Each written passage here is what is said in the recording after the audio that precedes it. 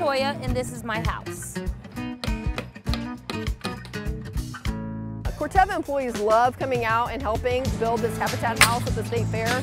Um, they love being involved, they love helping and working alongside the homeowner and really seeing this, you know, uh, platform become a house in three weeks. Thank you to Habitat for Humanity Ag Build sponsor.